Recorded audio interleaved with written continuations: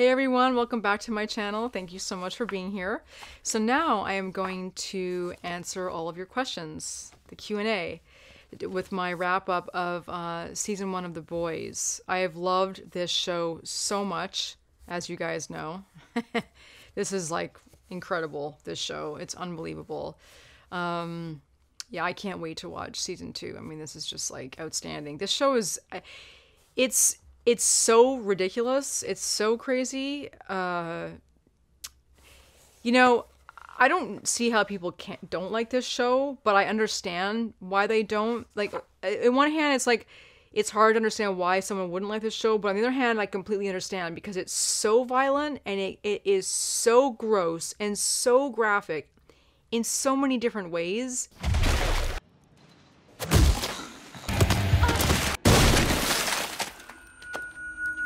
That I understand that, you know, some people don't want to watch that. And so that makes perfect sense to me. It is a lot to take in, definitely. Um, and it's not always easy to watch some of it. I mean, so you guys have watched me go through this show every episode. You see, sometimes I can't, I can't even look at the screen because what I'm seeing is, is, uh, is so jarring for me and I startle easily. So it's, you know, there's just certain things about the show that make it difficult. But with all that being said, as you know, I love this show. And, you know, loving this show so much has made me feel kind of like I'm weird because this show is so disgusting at times. How could anyone love this show, you know? um, but there's so many of you out there that love this show too, so I know I know I'm not the only weird one. That's all I have to say about that. Anyways, I do want to answer your guys' questions now. Um, we printed them all out so i think that i'm i hope that i get all of them here because i do want to answer all of your guys questions. I know that i said i would just choose a few but i actually did want to get to all of them. Okay so here we go.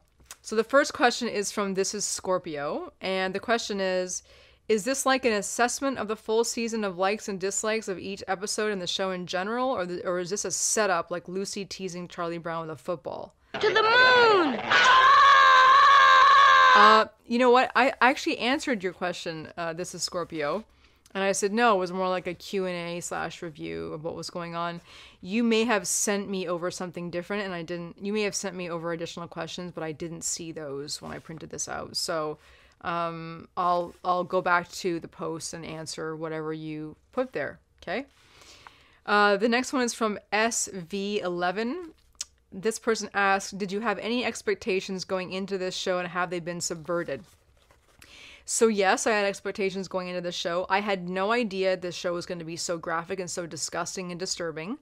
I thought this was going to be a superhero show um, and you know not at all this harsh i didn't even think it was going to have swearing in it so i didn't know anything about the boys when i went into this show i've not read the comics i don't know anything about the story the background so i had no clue it was going to be this bad if you go if you guys go back and watch my reaction to episodes 1 and 2 you're to see how shocked i am okay i mean i'm still shocked when i watch this show because to, in my opinion it keeps getting worse and worse as far as shock and awe go i mean it's I, that's why I've stopped saying can this get any worse because I was saying that quite a few bit quite a few times in the beginning of this season and then I realized there's no point in saying that because it does get worse. It gets worse every single episode in my opinion. I mean, they're they're they're doing things in this show that I didn't think they'd be able to do for TV that I thought would have been rated NC-17. You know. So yeah, I'm shocked. So yes, my expectations have been subverted. I wasn't expecting this show to be so jarring, but I also wasn't expecting it to be this good.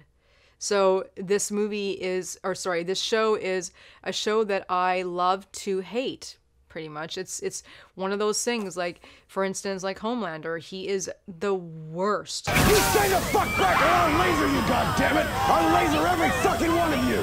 I mean the absolute worst kind of being that I could ever imagine. And I mean they could not have I, they could not have created a worse villain, you know, in every sense of that word and yet I love watching him. And the actor Anthony Starr, my God, he is so fantastic. He's incredible because I hate that character so much. I hate Homelander. And for me, I know I've told you guys this before, when I feel that strongly about something, it's because the acting is so incredible and also the writing, of course, but that actor, what he's pulled off, Anthony Starr, is is outstanding. I mean, I I can't stand that character. It's he disturbs me. Homelander really gets under my skin. Uh, you also asked, how did you like the use of their soundtrack? I love the soundtrack.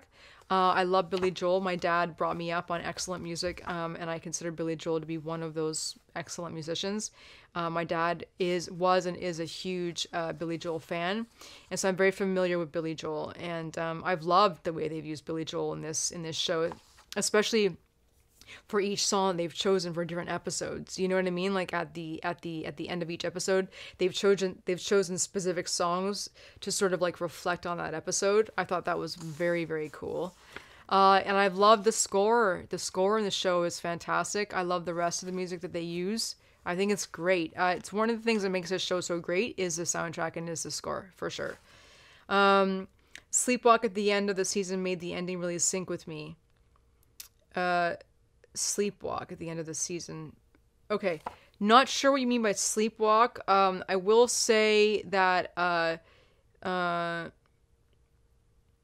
I don't know what you mean by sleepwalk. I wish I knew what you meant by that. Maybe I just don't remember. I'm not recalling something.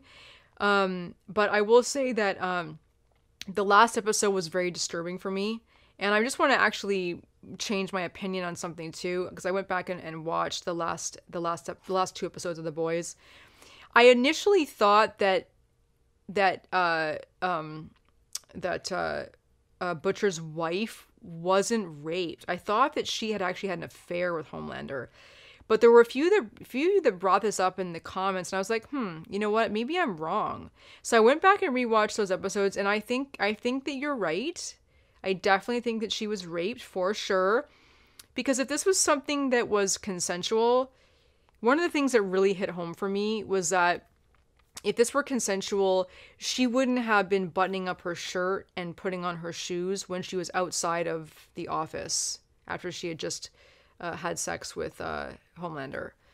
She it would have been if she wasn't so disturbed by what had just gone on, she would have taken her time inside that room to get dressed and then leave, you know, like even perhaps kiss him goodbye or whatever.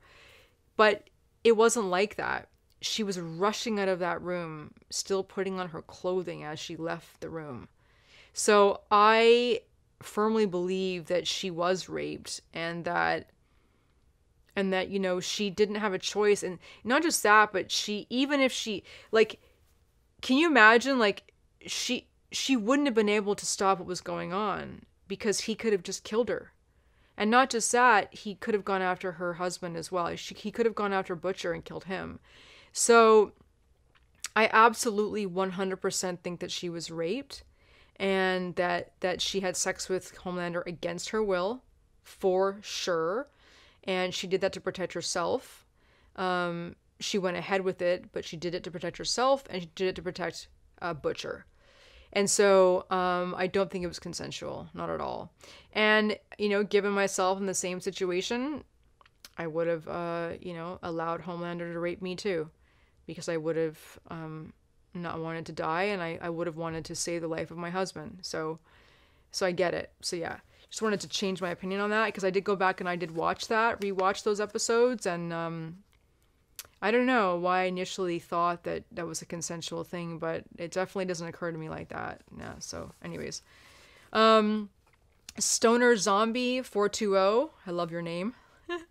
what was your idea of the show going in? Did it surprise you how wild it was? Right. Like so. What I you know just kind of how I answered before.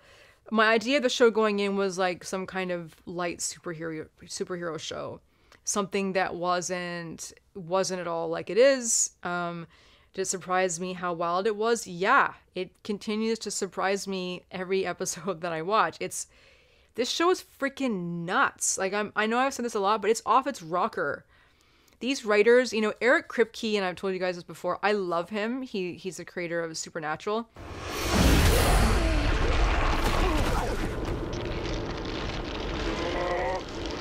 But you know, Supernatural is um a campy, much much lighter show. This show, I mean, this is crazy. This is absolutely bonkers, this show. And I think some of you had told me that Eric wasn't able to do in Supernatural what he really wanted to do because it had to be more of like a light-hearted, kind of funny, you know, comedic horror show. But in this show, he was uh, maybe he had some more creative freedom. I don't really know, but I mean, he really took this to the extreme. And I know many of you have also said that the comics that this that this show is actually very light in comparison to the comics. That's that's outrageous to me. I don't see how it could get much worse than this in a superhero show. I mean, sure, I've watched horror movies that have been really bad, but this is not a horror movie; it's a superhero hero show, and I, I just would never expect that it could get much worse than it is. But apparently, you've told me that the comics are much worse. Uh, so yeah, that's uh, very very fascinating. Um, interesting to it would be interesting to see what those comics are all about. I probably couldn't read them. I I could probably get through a page or two maybe if they're that bad. I don't know. I mean, maybe maybe I'll try. I don't know. Let me see. Okay, Rob L writes, "What scene shocked you the most?" Okay, Rob, there are so many scenes, so let me just name a few. Um uh, one of the scenes that stands out to me a lot because of how it affected me uh, emotionally is um, is when uh, Homelander and Maeve let that plane go down with all those people inside. That that really messed me up. Uh, also, too, when A Train killed his girlfriend Popclaw, that that that really did like that was hard for me to see because I for me I felt like I feel like A Train does have some love for for Popclaw, but he uh I don't know, you know, does he love her if he could kill her you know? But he's also a drug addict so i feel like he loves her but he's his his whole like way of being is being run by drugs you know? So he's not himself. But that that really messed me up. It did that he killed her. You know he he faked her overdose. That that really messed me up um also uh another scene that um that shocked me was when deep pulled down his pants and and you know started started wanting uh, Starlight to do something, you know, to uh, uh, to pleasure him. Um, that really shocked me too. Another scene that really shocked me was uh, when they were at the uh, Christian gathering and um, the minister guy, the superhero minister guy, was in the back. And when Hughie started saying what he said to him, I was shocked that Hughie, that Hughie did that. When I mean, it was like unbelievable. The things that Hughie was saying in order to get that guy to do what he wanted. I was so proud of Hughie in that moment because I was like, wow, that takes a lot of courage to do what Hughie did on the spot like that, too, you know?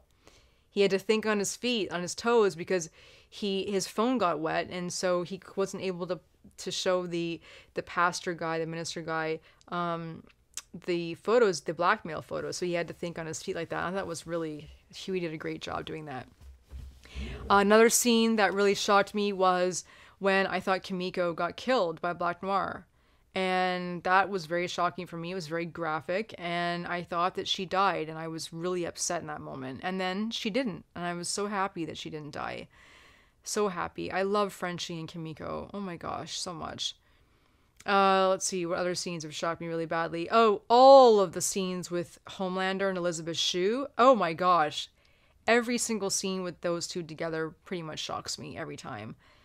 Just that real that real mother son relationship that they that they have uh has been um it's been a little crazy. And it's funny cuz watching it with you guys and like reacting to it, it's like I'm watching it I'm like this is a little uncomfortable.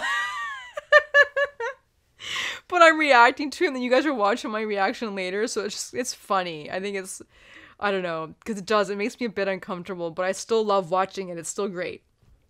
Um, definitely uh the scene with Homelander uh when he's talking to the news about how the plane went down and how he's saying, you know, we should be in the Department of Defense, superheroes should be, and just the just his conniving personality and the way he lies, the way he manipulates. I mean, that really bothers me. This guy. I mean, he is, he, like I said, he really gets under my skin. Okay. Um, and also, too, you know, the last episode where he kills Elisabeth Shue. I mean, that really, I was not expecting that. I did not think he would do that. I did know though once he caught her lying, I was like, "Oh my gosh. Something's to go down here." But I didn't think he'd kill her. I didn't think that. Another scene, scene that shocked me was when Butcher woke up and his wife was alive and her son. That was completely unexpected. I had no idea. I didn't think that she'd ever show up in this show. I did not think there was a child. Uh, and the fact that child's like what 9 10 11 years old or mm, is is he younger than that? I don't know, but I mean that was just shocking to me. That was another reason why I wasn't sure if she'd been raped or not cuz I was like, well, if she's been raped, why didn't she go and tell Butcher? But then I was like, well, of course she didn't because if she told Butcher, Butcher would try to kill Homelander and Homelander would definitely kill Butcher.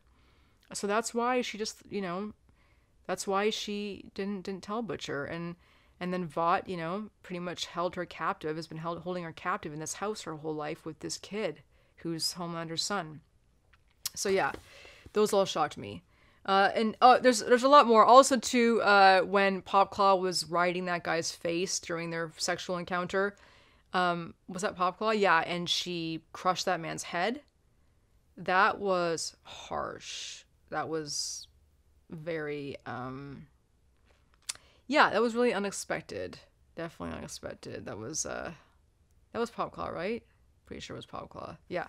Anyways, that was that was uh, yeah, yeah, it was her. That's right because that's why the boys blackmailed her. Yes, that was that was a harsh scene. Yeah. So uh, Guyvon J asks, uh, how do you, as a fan of fiction, as a woman in general, feel about the boys and other media entertainment having such strong erotica and or blatant and open visuals of trauma, gore, etc.? So that's a great question. Um, y- you know, it's uh, I have like mixed feelings about that because I am a huge fan of this content and I am a woman, I identify as a woman. Um and you know, it, how do I put this? So I was speaking to um, my friend about this over the past few years, and I was always like telling him, because not now, but before, uh, horror movies were always my favorite horror movies and documentaries. And I could never quite understand why my my brain liked horror movies so much and why I liked watching all this terror and all this horror all the time. And you know, since I was young, I mean, I I first watched Aliens when I was probably I think about maybe 10 or 11. Um far too young to be watching that movie. You know what I mean? Um my dad, I think my dad showed it to me. I mean, it wasn't a big day, whatever. It, it wasn't anything wrong, but I took a real love and liking for uh, science fiction and horror movies. And science fiction, whatever, that's, you know, that's not a big deal. But the horror aspect, you know, you guys don't know a lot about me. You know me as a reactor, but I've done a lot of work in my life, you know, in, in underrepresented communities. And I've, um, I've always been very, uh, uh, very passionate about making a difference in the world. You know, I, just as one person that you know could possibly do something good in the world. I've always wanted to do whatever I could to, uh, you know, make a positive difference in whatever small way I can. And um, so, so I was always very, you know, sort of like thought it was odd that while I while I'm like that and and I'm I'm passionate about about you know contributing to people and the planet and, and, and making good choices. I was always thought it was very weird that I also enjoyed horror movies. And so I asked one of my friends one time, I was like, you know, isn't that weird? Like, I'm out there in the world wanting to make, you know, a difference and, and, and, and do good things and be a good person. And yet I'm watching like this kind of content, which is the exact opposite. And he was like, and I also love documentaries as well. And he said to me, he said, you know, it could be that this is just, um, you know, something that uh, that you watch because it gives you, um, it gives you access to the atrocities that go on, and this is something that you never want to be like. So he, that's what he said to me, and I was like, okay i mean yeah makes sense. I mean the walking dead was one of my favorite shows and then again like that's like another show that is it's full of violence it's full of gore it's full of trauma and i loved that show. I haven't even finished that show. Um, i had to stop watching at a certain point because it was giving me too much anxiety actually. But but the point i'm trying to make is that um, when you ask me, you know, how how how do I, as a fan of fiction, as a woman in general, feel about the boys and other media entertainment, like I'm saying, like horrors and things like that, having such strong erotica or blatant and open vis- visuals of trauma and gore.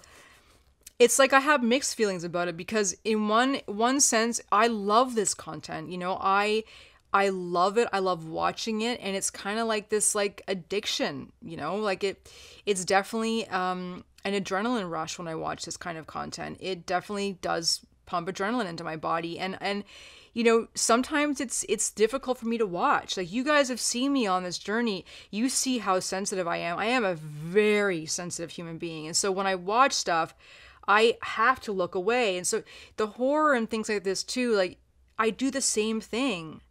You know there's there's certain parts of it i can't always watch because it just gets too much for me. It like it gives me anxiety but then um, at the at the same time my eyes are also totally glued to the screen. So i don't know if that answers your question. I mean i myself am a am a little bit confused about it. Uh i you know i'm such a huge fan of this content and you know there are a lot of movies too that have really really heavy erotica which i think and there's some movies out there that are i think are incredible like incredible movies and tv shows too there's this show um, actually called uh, uh, Normal People that came out. It's won multiple awards. It's filmed in Ireland or was Scotland? Maybe it's Scotland. Um, and it's uh, two young actors are in it, and it's on Hulu, and it's it's very erotic. This show, but it's one of the best shows I think that's been made in a really long time. I mean, it's incredible. It is what these young actors did is is it's it's amazing what they did um, everybody on that show made an incredible show, and that's why it's won multiple awards and it's highly erotic. But I think it's it's amazing. I art is is so subjective, as you guys know. You know, like you guys might like something that I might not like, and I might like something that you might not like. Um, uh, for me, I I I don't mind watching the violence and the trauma. I'll let you guys know that one of my favorite movies of all time is called Once Were Warriors. It's won multiple awards. It won at Sundance, the Sundance Film Festival, a long time ago. It is um, it's a New Zealand film, and um, it's harsh. It's one of the harshest movies I've ever seen, and yet it's one of my favorite movies. So you know what I mean? Like also too, like I just watched Moonlight. Oh my gosh, Moonlight is outstanding, and that was a harsh film, and there were times when I couldn't I couldn't watch it because it was so harsh. It was the same with Once Were Warriors. So again, like I know this is a very long, drawn out answer to your to your question, uh, Von J. Um, but it's just to give you kind of some more insight as to who I am as a person. You know, while this content is disturbing and jarring and it's like hard to watch at times and maybe it's maybe having all this violent content out there in the world isn't good. I mean, I don't know. I, I'm not going to be the person to judge whether it's good or not. But I will say that uh, a lot of these movies have taught me a lot, you know, over my lifetime so far. And without some of these films uh, addressing, you know, serious issues, even if they're fictional in the movie, but they're still addressing issues that happen in real life, you know i might not as i might not have learned these things as well as i have. I've been a huge movie watcher since i was a little little girl and i've learned a lot through watching films you know? And a lot in life as well of course out in real life but i think that movies and and tv shows they have the capacity to to translate real life experiences into a fictional you know situation. Um, or a moment in a show or a movie and the person watching that can perhaps get something out of that you know? So i think that is very powerful i think that's a very powerful thing and i think that uh, movies and television television are a very powerful tool as well to get those messages out to people. Um, and so but again with great power comes great responsibility. So people who make content too i think need to be accountable for what they're putting out there too. So I do feel that as well. That was a long answer to your question. Uh, please forgive me if it's offensive in any way to ask with gender specific in mind. I just wonder because men are typically more raised in these uncouth kinds of media environments, and I'm wondering about you personally and from a female perspective since the show has so much of all these elements. I hope that I answered that for you. Uh, okay, Syed Quadri. Uh, what are some of your favorite Easter eggs from the season that you noticed? P.S. Your setup looks so comfortable and cozy. Uh, some of my favorite Easter eggs. Uh, you know what? I can't actually think of any right now at the top of my head. Um, but Syed, this this this setup is very comfy and cozy. I'm just gonna show you guys what's going on here. So, this is like a like a like a couch chair, just because this couch right here, this futon, if you guys can see that, this futon is like 20 years old, and it's not very comfortable anymore. It's lost um, it's lost a lot of its a lot of its uh, like foam. So that's why I sit on this pillow and I have this here because the back the back right here of the uh, futon couch is not very comfortable either. So I put this here, I put this here, because sometimes I'm sitting here for quite a while. You know what I mean? So I put all this here so I could be really comfy. And we don't have a couch. We don't have another couch to put here that I can sit on. And the chair that I was sitting on in, in my very first videos, if you guys look back, that chair is broken. So every time I would sit in it, it was like off to one side, and my back it wasn't comfortable because I was always kind of like this off to one side. So it didn't really work. So we just thought that bringing this this futon, you know, into this space and using this little area right here where I could watch movies would would, would be a good idea. And I also have one of these in my bed because when I sit in my bed and I'm working on my computer, these couch chairs are so perfect for doing that. They're really they're really really awesome. And these these these bolster pillows here are about 20 years old as well. These are so old. Yeah. So yeah that's this is my little setup and yeah it's really comfy and i like to put everything over here stuff that i love and this the book is so funny. What would Keanu do? this book is hilarious. Personal philosophy and awe-inspiring advice from the patron saint of woe. I know I say whoa a lot. Yeah. Yeah. A lot of times you guys when I when I say words too, I get brain fog and I in the moment I, I, I repeat myself and I I don't um remember, you know, like a different word to use in that moment. So I, I end up saying like wow or whoa a lot. It's, I know. Uh, Syed, sorry, I can't remember any Easter eggs right now, but uh, I will think about that and I'll write something under the comments, okay? Sharad Vemalan Vemelanathan. Vem, Vemelanathan? Uh, hi, Kazzy. You, you've, at, you've, you're tasked to take out the heroes. How would you go about doing it? Oh my gosh. Uh, well, that depends. I mean, do I have superheroes? Do I have abilities? Am I just a human uh, with no abilities? Um, maybe I would take some Compound V, but I don't know. I mean, how would I know? I mean, first of all, I would definitely want to be. I would definitely want to have um, Homelander's abilities. Okay. Well, actually, maybe A Trains. I'd like to be have a combination maybe of A Trains and Homelander. Yeah, because it seems like that those abilities combined, you there's nothing that could stop that. That you'd be indestructible. So, how would I go about doing it? Um, you know, I don't really know now because I really thought that uh, the FBI agent, uh, Jennifer Esposito, that's her real name. I forget her, her, her name, name on the show right now.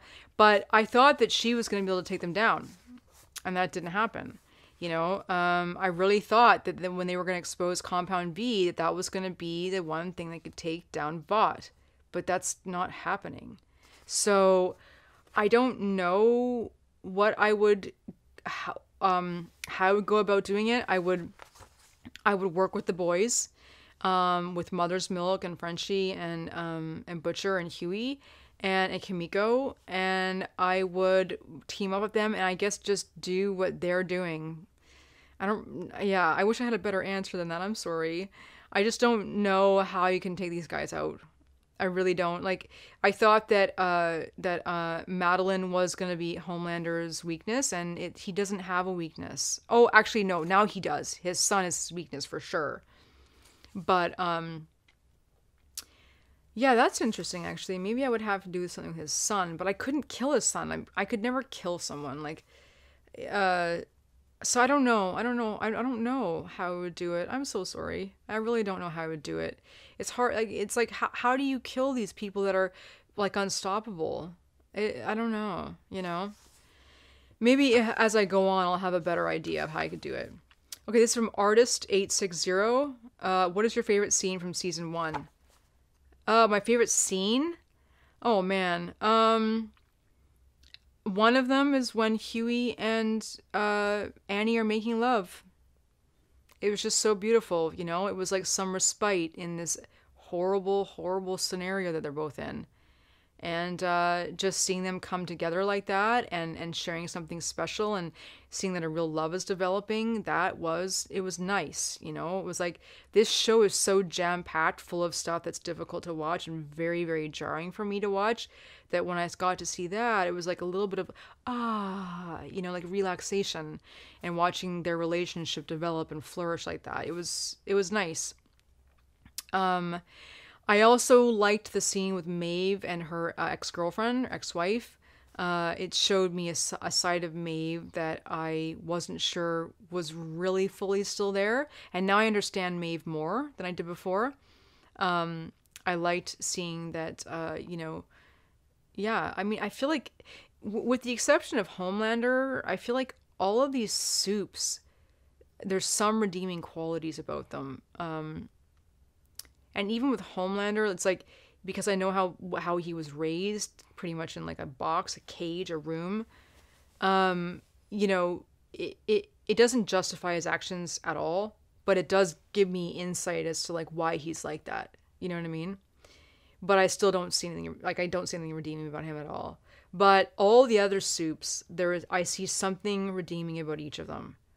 Um, and the more that I go through the show, the more that I'm going through it, I'm seeing more of that now as I go. Um, but I don't I don't know if I have a favorite scene from season one. It's really hard to say. Um, you know what? Maybe my favorite scene actually, the one that really moved me, was the one I told you about uh, Hughie and Annie. But also when Kimiko, when she was dying, and then that song came on, "Ain't no sunshine when she's gone." She's always gone too long. Anytime she goes away. When that song came on and Frenchie went over to her and he thought she was dead and then she wasn't and you saw how happy Frenchie was, like their love connection is also something that I love about this show. So that's that that scene right there was definitely one of my favorite scenes as well. Yeah, definitely. For sure yeah again i think it's like just the respite from the intensity of this show. I love those scenes when i get to see um, these people loving each other. I like it. Um, paul beer so how so as watching the boys made you want to read the source material? Uh, paul i don't like i said it would be interesting to read the source material. Um, i i kind of do. I'm not really sure like i'm i'm not really sure if i if I could deal with it because as you've all told me this show is is nothing in comparison to the source material so I'm not sure if I could actually get through it but I'd be interested in looking at it yeah I would for sure um Kev John 11 or sorry just Kev John if you could have a child and give it compound V but not be obligated to Vought, would you give it to them? If yes, what power would you want them to have? So I don't actually know. Um, I did read your question on on the under under the comments. I did read this a few days ago, and I was actually thinking about. It. I was like, hmm, would I do that? I don't know. I mean, giving my child compound V essentially makes them a like a WMD, doesn't it? A weapon of mass destruction. Kind of does, doesn't it? Um, so I don't know if I want if I want to do that with my kid. I don't know. Like I can see how it would make my child's life easier, but I can also see how it made my, my child's life a lot more difficult. And even if Vought, even if they didn't have to go work with Vought, you know, there's always other people in the world, other organizations in the world, other corporations in the world that may want to steal my child for their for their gain. So that would be something I'd be very nervous about. Um, what power would I want them to have? Well, probably I'd want them to probably have A Train's power or Homelander's because they're both so powerful. I'm not saying the other characters aren't powerful as well. They are, but those guys are like it just that's pretty pretty incredible what Homelander and A Train can do, you know? I mean, it's they're all outstanding their powers, but that's just like something pretty crazy what those two do. Uh Apex Venom, favorite character, favorite scene, favorite line. Oh man. Okay. Favorite character, probably I would say Frenchie or Mother's Milk. Um yeah, I love those guys. Uh, you know, obviously I love Starlight, I love Hughie. Butcher I don't know. Butcher kind of I mean he's amazing, but he kind of upsets me because he's a little bit too obsessed. Um so yeah, I'd say probably Mother's Milk, Frenchie. Yeah, and then, you know, Hughie and Starlight. Yeah. And Kimiko, I love Kimiko. She's she's really awesome too. She's definitely awesome. And I love Jennifer Esposito's role as the uh CIA is it CIA or FBI agent? I think she's amazing. She's awesome. I love her too. Yeah. Uh, favorite scene? Oh, I think my favorite scenes are the ones that I already uh, uh, uh point out for artist for what is your favorite scene when artist 860 asked me the question? Yeah those are my favorite scenes for sure. Um and my favorite character. Yeah those are my favorite characters. My favorite the favorite my favorite line is probably Fucking diabolical. what butcher says though this is di- diabolical. That's a pretty good line. Yeah i like I, I like that diabolical and his accent it's, pretty awesome movie not since the author of the comic book the boys kind of disliked superheroes he wrote The Boys as a satire to the superhero genre. My question to you, Kazzy, what is your relationship for superheroes in general, and what do you know of them, like Marvel and DC heroes? Um. Well, my relationship for superheroes in general, well, um, I love them. I mean, growing up, my superheroes were uh, I had several, but right off the top of my head, they were Superman and Princess Leia, um, and uh, Ripley from Aliens. Um, yeah, I mean, there's so. What is my relationship for superheroes in general, and what do I know about them? Like Marvel and DC heroes. Well, I mean, I've grown up with all these guys my whole life. I mean, I've been watching Batman and Superman and Wonder Woman my entire life. So it's I love I love all these superheroes and and as these movies have come out as I've gotten older they've just gotten better and better and better. And I used to watch all the cartoons when I was really young too. So it wasn't just I mean even like do you guys remember Scooby Doo? Oh my gosh, I used to love Scooby Doo. Those guys were all superheroes to me too because they were out there fighting bad and trying to, you know, do good things and um, that's why I think Supernatural is one of my favorite shows like I consider those two guys kind of like superheroes that are out there fighting all the demons of the world, trying to save people, trying to save humanity. I love superheroes. They're always trying to save humanity, you know? I mean, at least not the guys in this show, but real superheroes. um, I, I, I watched The Joker. You guys have probably seen that. Um, I watched it for the first time last year um, as one of my first watches ever on this channel and I hadn't watched it when it first came out because it, I had been told it was a very dark movie and it was you know depressing. And while it was excellent it was really dark. And you know so uh, when I when it first came out I wasn't in a place with myself personally emotionally and mentally to really dive into that material. And so I watched it as soon as I felt good enough to watch it. And when I watched it it was it blew my mind. I mean Joker is um is such an incredible movie you know um, it it it brought back a lot of flooding emotions for me though too because of Heath Ledger, and I loved Heath Ledger as Joker. Uh, I mean, really loved Heath Ledger as Joker. But what Joaquin Phoenix, what he did though, was outstanding. I mean, he's he's incredible, and I I love superheroes so much, Marvel and DC, that every time they change a superhero, I actually have a little bit of a hard time accepting them at first, and and it's it's not because I don't want to see different superheroes, it's because I get so emotionally invested and attached to the ones that are there after years of watching them that I it's like when they when they replace them with somebody different, it's like it it doesn't like I get sad about it. I know. I'm sensitive. I just do. I know when they came out with the new Superman and Lois show and they've got this guy playing Superman, I'm it's like I know I'm going to watch the show. I'm going to watch it. I will but it's just like, ugh, you know, I want Henry Cavill. you know, because he's my new Superman. I mean, Christopher Reeve was, and then it took me a while to get used to Henry Cavill, and I was even mad about that when that first happened. I was like, no, I was like, nobody can replace, you know, Christopher Reeve. My dad brought me up on Superman, the originals, you know, and uh, so it was just, uh, it's just one of those things. I get very attached to these characters, and then when they change them, it hurts my feelings. even though I'm an adult, I'm a grown ass woman, and it still hurts my feelings. Um, but yeah, it's you know same with Star Wars. It's like those guys, you know, those guys have always been superheroes to me. You know, all those guys fighting, you know, good versus evil. I don't know. I mean, there's, you know, specifically talking about Marvel and DC. What do I think about them in general? Is I love I love superheroes. I love them all. I mean, some I like more than others. Of course, I have my favorites, but, um, but I love I love them all and uh, you know when uh, when uh, Chadwick Boseman died, that was uh, that was really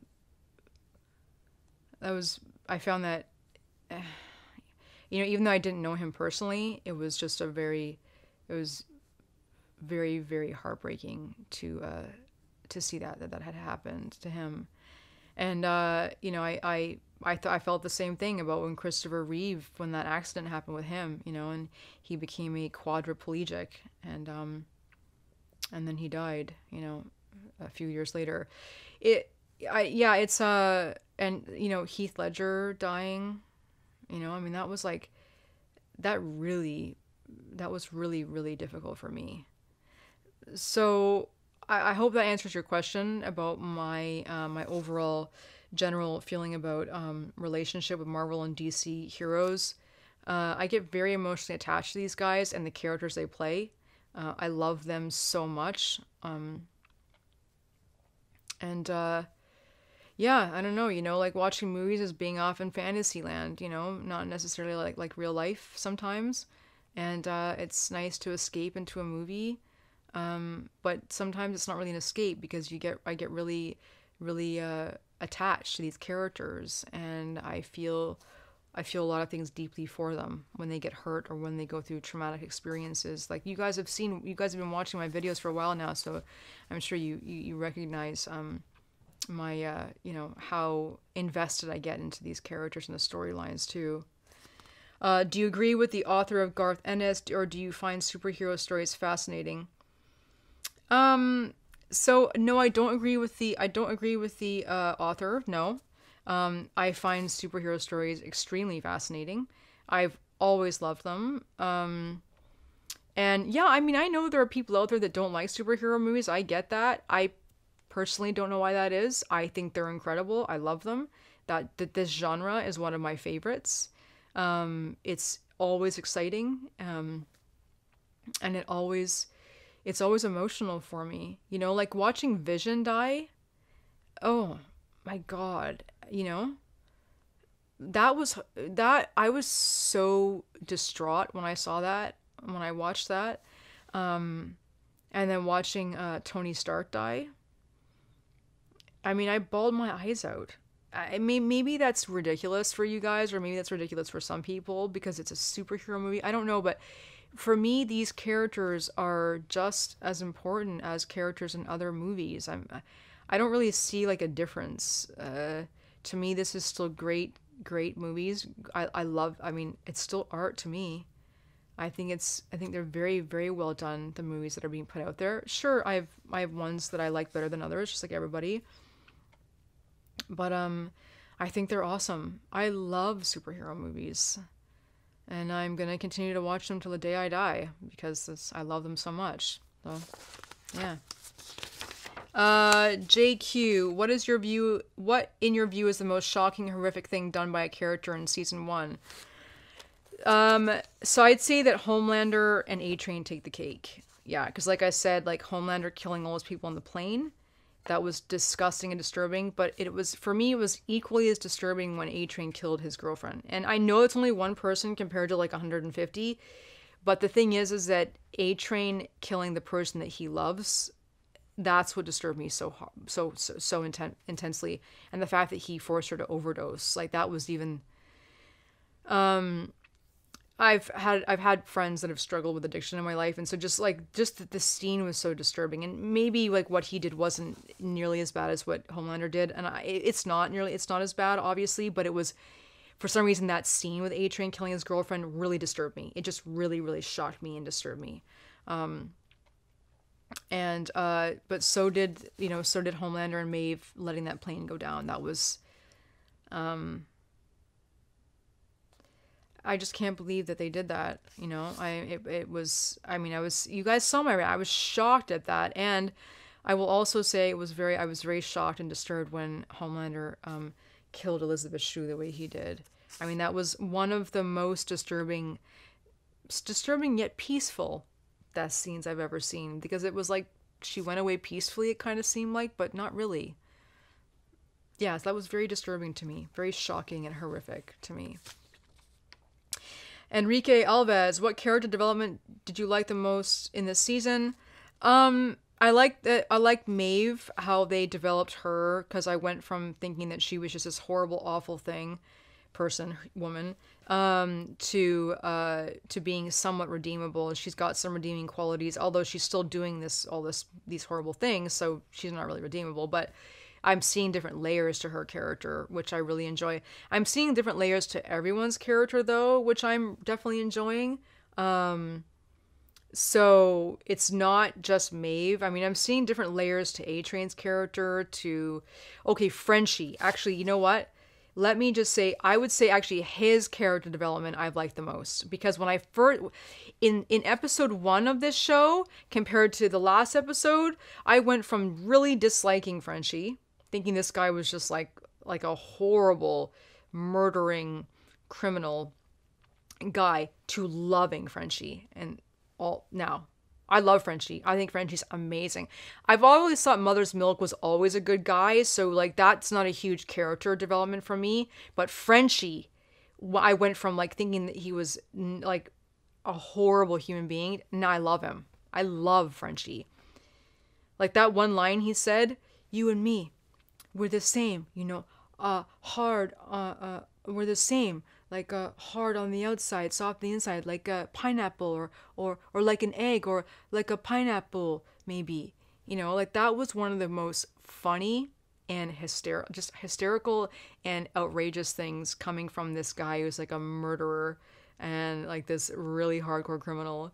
And he's yet so soft on the inside you know and he really truly is when it comes to Kimiko and just in general and so seeing sort of that that character development has been really special for me um which character do you okay Daisy Alexander which character do you relate with the most um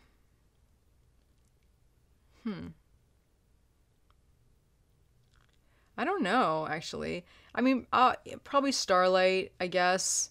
I know that's just like cliche, but I don't know. I can't imagine myself ever doing the things that these people have done in this show.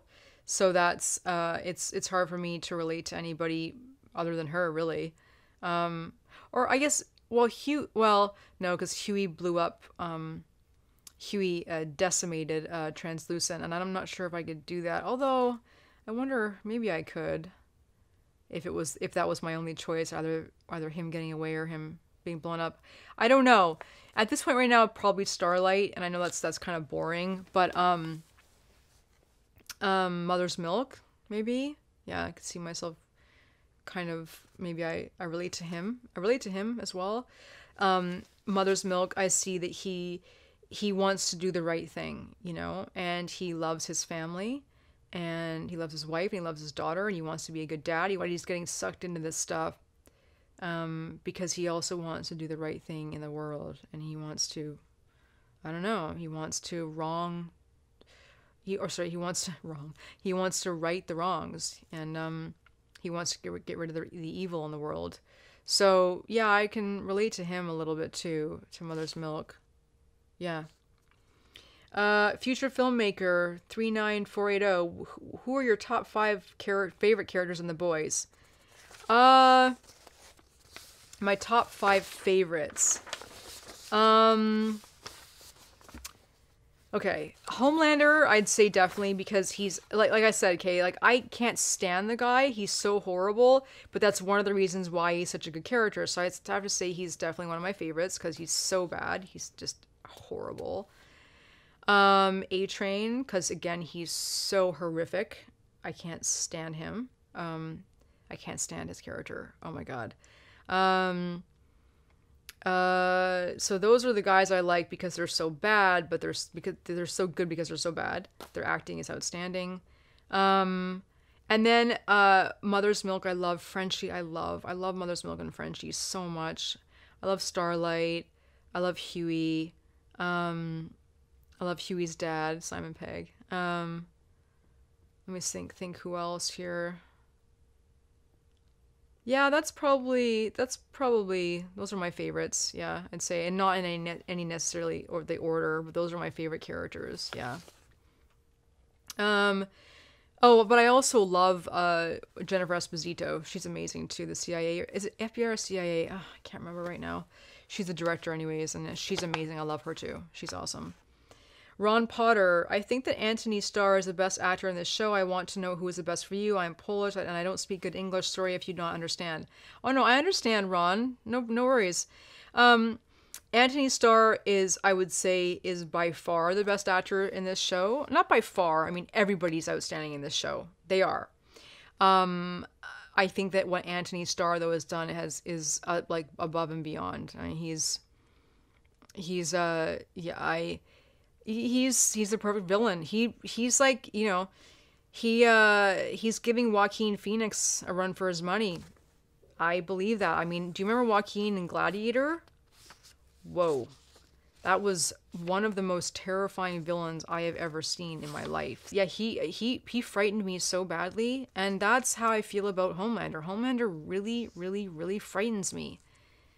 And Antony Starr has done. I mean, he needs to win an award for his job on this show because even though the the character he's playing is so diabolical, so crazy, he is uh he's just done an amazing job. I mean, it's it's incredible. I I, I still I, I'm blown away by his performance every time I watch this show. So yeah. Uh Norman Baggio, what's the most diabolical thing Homelander has ever done that you can't forget? Well, when he blew up when he or sorry when he let that plane go down with all those people in it. He didn't care.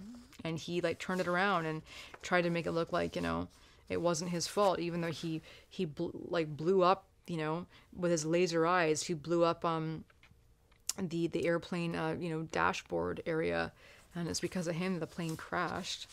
It was ridiculous you know? It's totally ridiculous. And he's and also and and also when Homelander burnt Elisabeth Shue's eyes out, Madelyn's eyes out. I can't. I'll never forget that. No, and also too when Homelander. Um, it's pretty much Homelander. Yeah.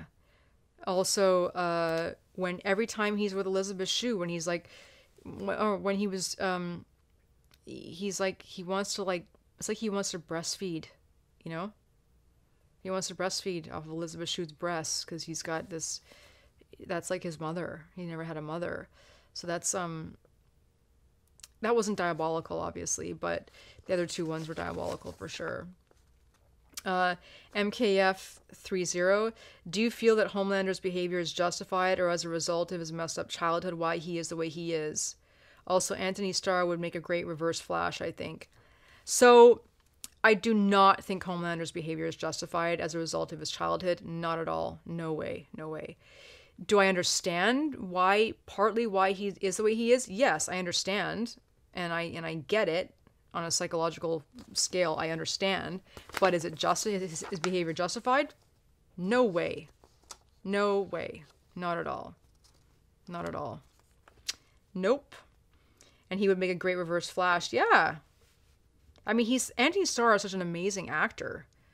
I mean, it's I yeah, I don't I'm not I I think that there's not there's not much Antony Starr could not do in the world of acting as far as characters go. He'd be great doing anything, I think, pretty much. Um, Bongzilla, wh- who do you think Black Noir is under the mask? I have absolutely no idea. I haven't looked it up online, so I don't know. I am very curious, though. I would like to know who it is. and I'm wondering if they're ever going to reveal us his identity. I would like to know. I think it's pretty funny. His name is Black Noir. That literally means like black, black. Crazy. Dora, what what do you think about Starlight, Annie, and Hughie's friendship relationship throughout season one, and how do you think it will progress in season two? Dora, I love their friendship relationship. I want them to be together. Um, I love them so much together. I think they're good for each other, and uh, I hope that I hope that they do progress in season two. I hope that they get more serious in season two. I want them to be together. I want the two of them to they have real love, and I want them to to to express that with each other. I want them to have that. It's one of the most beautiful parts of this show is is that love connection that they have. I want really want them to be together. I don't want it to, you know, I know that that she knows what happened, what Hughie was doing, but then she realizes that he's really a good guy and trying to help and that Vought is behind all these horrible things. So I really want them to stay together and be together and or get back together. I want them to be together and I hope that season 2 shows that. I really do. Psychonaut. What was your favorite time that Hughie got splattered with blood? oh my god. And besides Hughie or Starlight, if you had to date a character from the show, who would it be? Um um so I would say that my favorite time Hughie got splattered with blood I, I wouldn't call the word favorite. I can't call it that. But I would say the most disturbing one for me was Robin, Robin's blood. And he was still holding her hands. I mean, translucent was disturbing. It was, but not not like uh, not like Robin. That was highly highly disturbing. Um, so I would say favorite, not really a favorite, but the most disturbing for me. Yeah.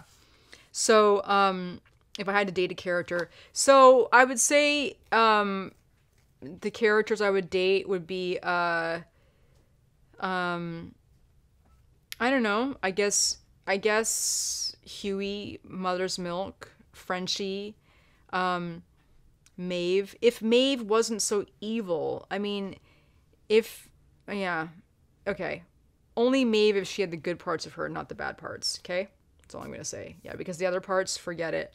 Starlight, Starlight, yeah, she's pretty awesome for sure. Um, you know, yeah, she's awesome too. But yeah, mainly, mainly, um, uh, Hughie, Mother's Milk, and Frenchie. Yeah, yeah, those guys. Yeah. Um, Dead Flint. No. Uh, Vro. What did you think of Starlight's mom in this season? Didn't like her at all. Don't like her would like to see her come around and not be trying to constantly use her daughter for, you know, her popularity. Um, Dead Flintstone, do you think Frenchie and Kimiko will get together and live happily ever after? Oh man, I really hope so. I really, really hope so. I love them together. I love them so much. Leo Pena, has the Deep been redeemed? Good question. No, he hasn't been redeemed. But do I see redeeming qualities in Deep? Yes, I do. Definitely. I definitely do. I definitely have some more compassion for Deep now. Um, I definitely have more compassion for Deep now. Yeah. And um, I I have a, a little. I'm hoping that Deep will be redeemed and that he will come around to be a really good guy. I'm hoping for that because I do see I do see good good things about him. Definitely. Yeah. Um, intercoastal, int, intercoastal. Hey Kaz, I was very curious on your progress with A Train. It seems you took a connection with the character's development. What's your takeaway in general, and are you expecting anything for him on season two? So yeah, I, I didn't initially. I really did not like A Train at all, um, for several different reasons. Because he killed Robin and had no remorse. Um, he didn't show any remorse for killing Robin whatsoever. Uh, then he also killed his girlfriend. Although, I, and then I started to see he did have remorse about his girlfriend. So I am starting to see that. So every time he has like these flashbacks about Popclaw, it looks like he's very remorseful about killing his girlfriend. So that looked remorseful to me. Um, I I I'm uh, I have more compassion for A Train now because now that I see that he's a total drug addict, I can see I'm able to separate some of the bad behavior from the fact that he's a drug addict and the addiction is running him as opposed to perhaps maybe who he really is. So, yes, I have slightly altered my opinion on A Train because of those things. Um, in the beginning, um, I saw him as bad as Homelander because I, you know, he killed Robin and had no remorse, and I was like, how can you do that? You know, how can you kill someone and have no remorse? So, but now I'm seeing a different side of A Train. I'm seeing that this is in with him having an addiction issue. That right there sort of like gives me compassion for him. It doesn't justify his behavior, not at all. Okay, no. However, it does show that something else is going on here, and and perhaps it's not really who he is. You know, like he's doing these things out of his addiction and out of whatever else is going on, but it's not really who he truly is. So, yeah. Um, am I expecting anything from him in season two? Yeah. I mean, I was really disappointed at the end of this season that how he freaked out on Starlight. I was hoping that um, that they would they would sort of join forces there, and Starlight would convince him that like what what she was doing was right. The fact that he had a heart attack and she's and she was you know um, resuscitating him. What I'm hoping in season two is that he realizes that she it, that she's helping him, and I hope that because of that that he will change his ways. That's what I hope. I hope that he will get more in touch with who he truly is, which I'm hoping is a really good person. And I'm hoping that he'll get help with his compound V addiction. That's what I'm hoping. I'm hoping that he comes more over to like Starlight's side. You know what I mean? That's what I'm hoping for. Um, Zane Kamal, do you think that A Train will become good in season two, considering that Starlight helped him with his heart attack? Yeah, right. I think I just answered that. Well, do I think he will? I'm hoping he will. I'm really hoping that he will. I am. That's what I'm hoping for A Train. I'm hoping for that. Don't know if that's gonna happen, but I would really like to see that. I would love that. A Train seems very, uh, very um, um, A Train is like like Homelander is like just like a horrible you know being, but there's something about A Train that um, I don't know. I can tell he's suffering, you know, and so yeah, I want him to become good in season two. I want his suffering to. I want him to get help. Yeah. John Bell. If you could have played any of the female characters in season one, which one would you have played and why? Um. Uh. Good question. Huh. Maybe. Uh. Uh. No, I don't know. Maybe Maeve, because Maeve seems seems so torn. Kind of like A Train. She seems very torn. So yeah, I think that would have been a cool role to play. And the role of uh, Jennifer Esposito, I think her character role is pretty cool too. I mean, she's you know very good, but she also shows like a lot of power, a lot of strength, especially around Butcher, who's you know constantly trying to you know like sort of steer how everything goes. Um, she's a very powerful character, and I like her character a lot. Um, yeah, probably those two. Um, did you ask male or female, or did you just ask female? Oh yeah, you said female. Yes, so probably those two. I think those would be those would be fun characters to play. Maeve just Maeve also because there's so many different layers to her character. Like she's such a horrible, you know, being for the things that she's doing, but then you see that she's also like suffering like she's she has remorse for the things that she's doing too. So there's because of those different layers that would be fun to play that kind of character. You know, I probably wouldn't be any good at it, but that would be fun to play that character. Uh, um, future seasons questions.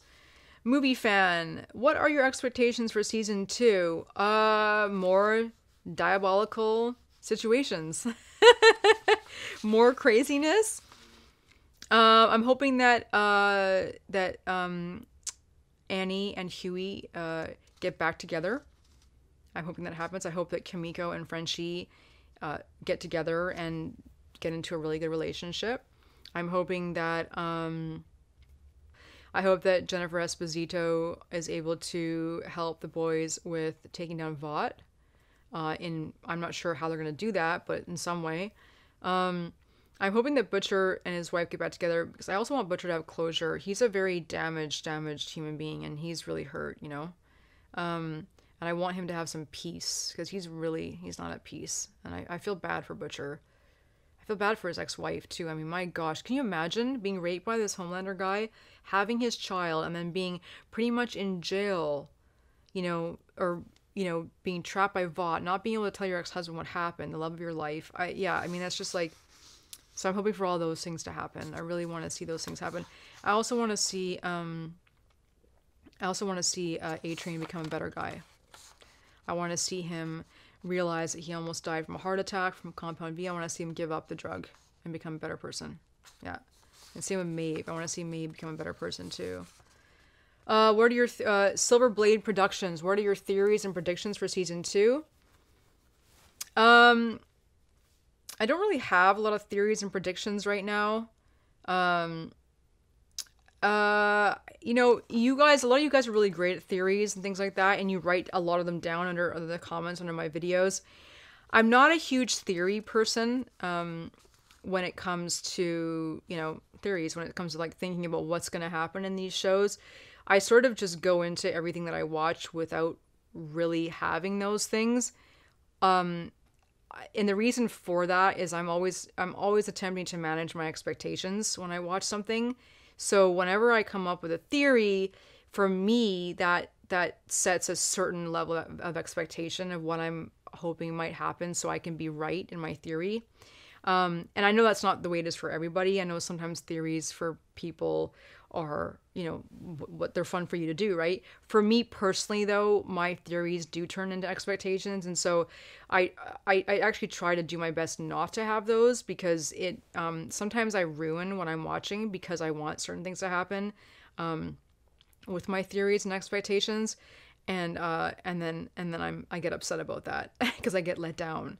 So yeah i don't really have any theories right now. I mean of course i have some expectations. Uh, I do want to see certain things happen, like I just said a second ago when I answered the previous question.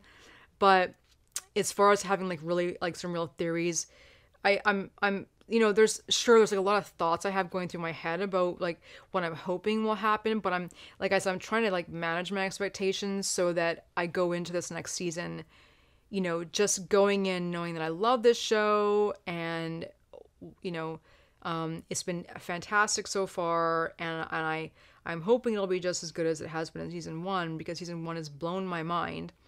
Um, and that's yeah, that's about it. I'm sorry if I didn't answer that question good enough. I just I don't really have any theories for season two. Um, just kind of like you know, just trying to keep my my manage my expectations and keep those in check so that I don't you know get let down if they don't go the way that I want them to in season two. I hope that's that's okay.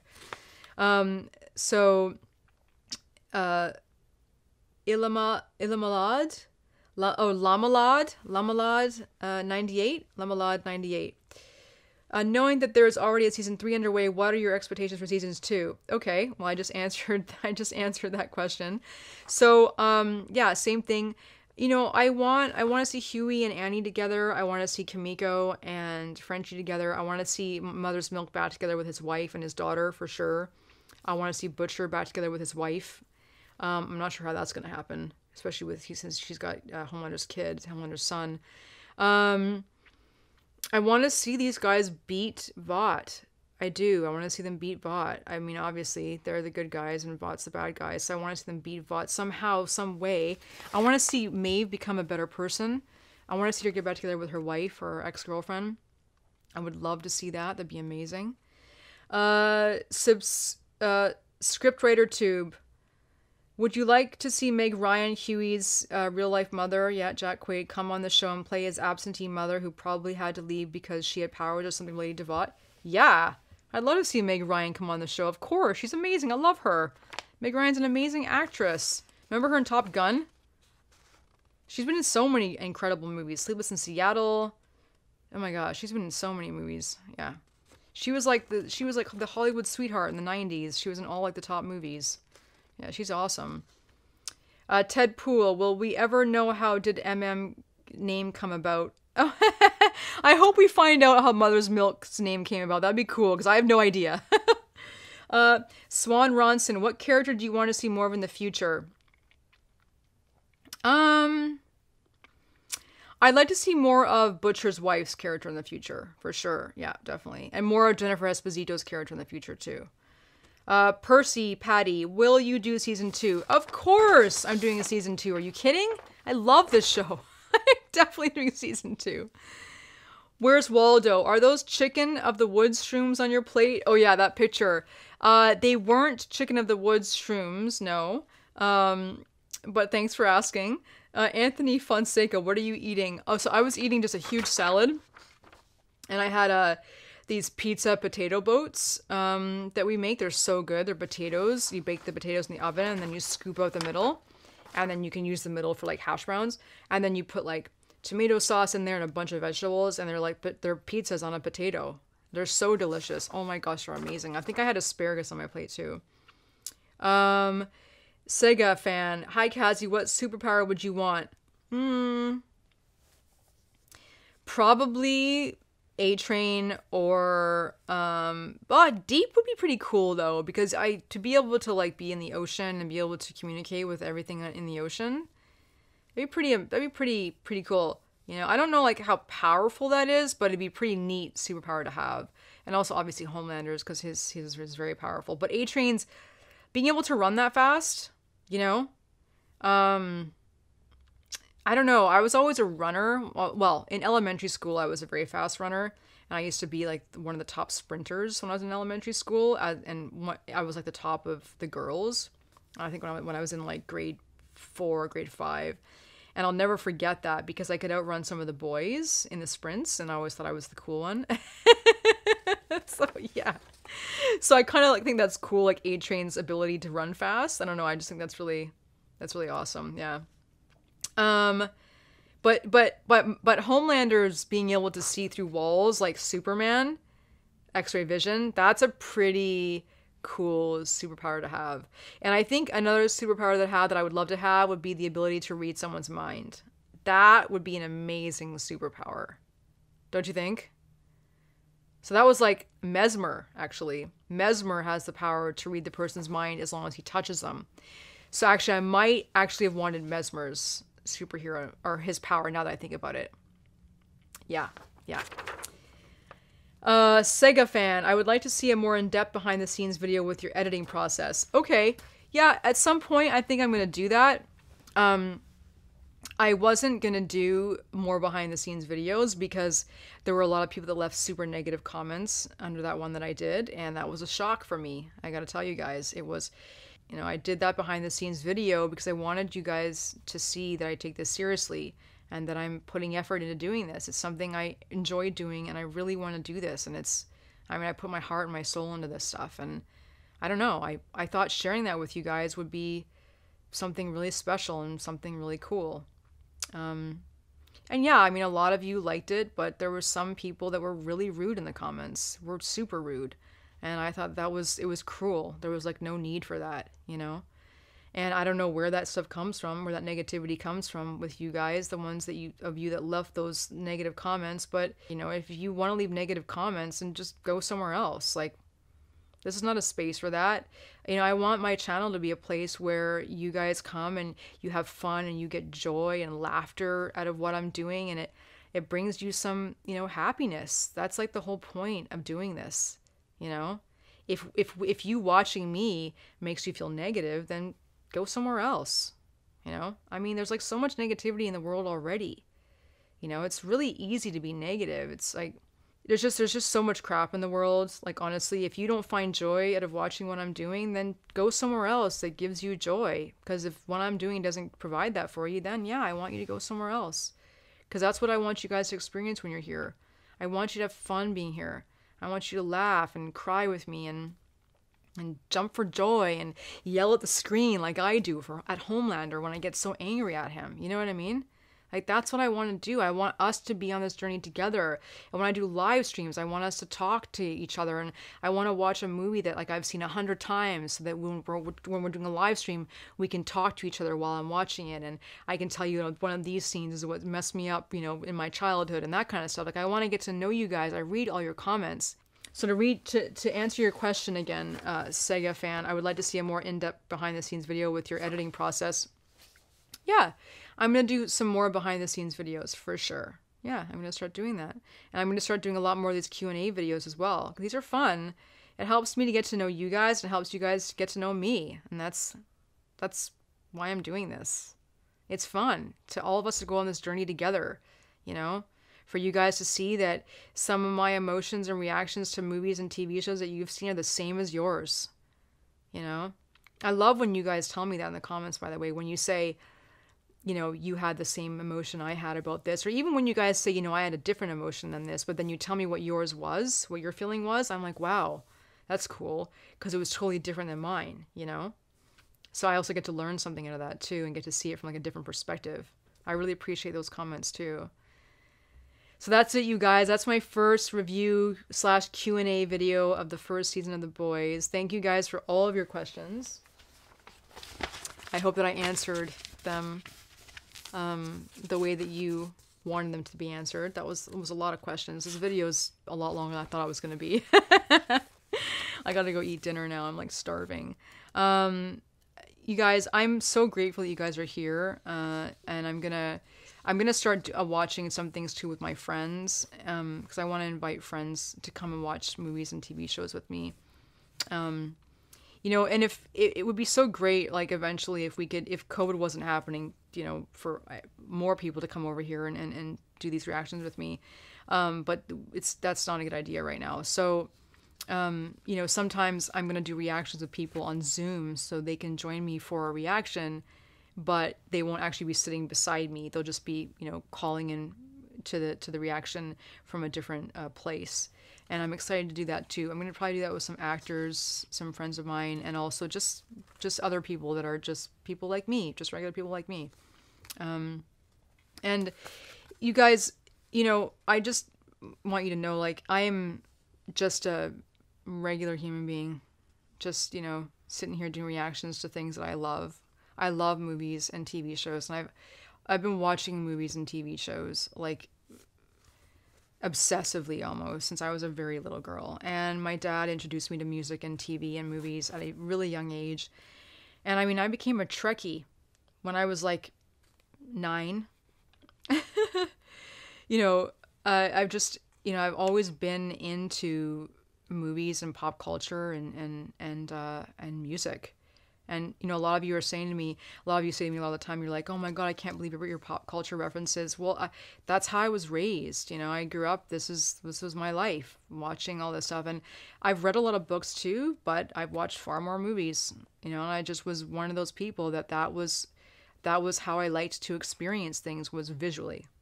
I was always like a visual person, and so I've always enjoyed watching uh, movies and really, really great TV shows, and also music too. I love music so much. There's a reactor here on YouTube called JV TV. He's amazing. If you guys haven't gone to his channel, you should definitely go there. JV TV. He's awesome. He's such a sweetheart, and he reacts to all music, and he's awesome. He's amazing. Yeah, he's he's incredible. Anyways, you guys, thank you so much. I love all of you so much. Thank you for all of your positive feedback. I really appreciate it. We're definitely going to do more of these, okay? The Q&As and the live streams. I'm really looking forward to those. They're going to be awesome. And uh, you guys come over and join me on Patreon if you can. I mean, I get it. Not everyone has money right now, and I understand that. But like, and uh, I'm gonna start this thing on YouTube here, like the join button, so people can join for a dollar or whatever. And I want to start doing content for um, for people who are subscribed to my YouTube channel. So we can do like kind of like live streams that are only for people that are members and and I'll, I'll do live streams for everybody as well. Of course I will, but I also want to offer things to people that are willing to get behind me and want to contribute to what I'm doing as well. Like I want you guys to know like this is something that I, I actually want to make a real job for myself. That's what I want to do. This is like I love doing this. I love it and I would like to make this my job. I want it like to me like doing something I love and being able to make a living at it is what life is about. You know, so many people work jobs that they don't like because they that's what they do to pay the bills and I've done that a lot in my life and when the pandemic happened um I lost my job, also due to health reasons. Um, and uh, I became unemployed and I started looking at other ways to make money and do things that I loved, things that were fun. And this was one of those things, you know? My friend suggested I do this because he had been with me to so many movies in my life and he said you're you're crazy when you go to movies like not you know what I mean? Like I just have very visceral reactions and if any of you guys could be with me in a movie theater, this is how I act. You know, it's just just how I am. So, anyways, you guys, thank you so much. I love you. Thank you for being here. Thank you for all of your support. I look forward to seeing you soon. And um, yeah, we'll do more of this. Okay, more Q and A. Have a great night, great day wherever you are. Take care, guys. Bye.